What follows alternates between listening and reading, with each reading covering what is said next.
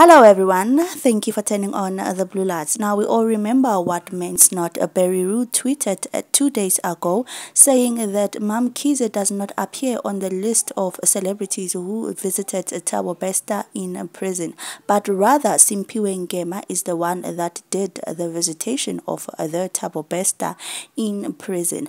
Well, Simphiwe Ngema did not seem to be bothered by this at all because while social media was busy blaming her saying that how could she be visiting a criminal who are women man, the silence did not last for longer uh, because Simpson Ngema took to Instagram and wrote this, Ning Kabi, followed by this message.